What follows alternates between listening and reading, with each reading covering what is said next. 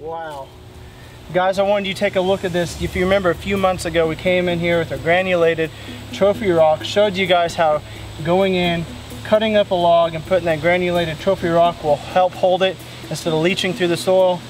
Deer took to it almost instantly. It was within days they were up here eating on this. Here we are not even a few months later. It has been cleaned out except for a little bit that is left down in here.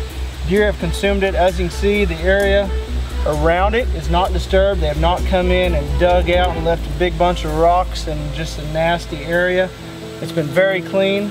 We know that they've consumed all of it that's been in here. Either that or it's absorbed in this log and they will eventually eat it out, but this is a pretty solid log.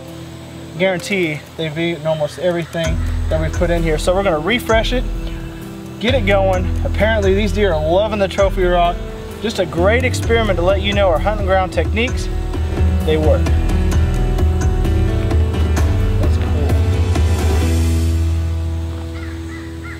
good, good one.